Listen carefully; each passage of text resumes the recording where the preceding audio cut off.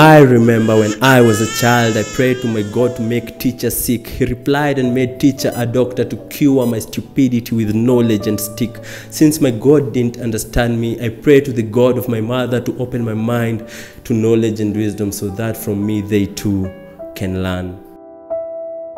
I remember when I was a teen, I prayed to my God to make her blind in love. He replied and made her transparent to make sure I saw beyond her pretty.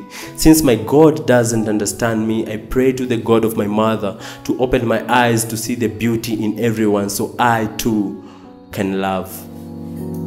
I remember yesterday, for now I am here, I am lost, the fog blinding, the earth barring. I will pray to my God to lift my burden, but since my God may not understand me, I pray to the God of my mother to give me a strong heart to be able to lift the weight of the world so I can again live.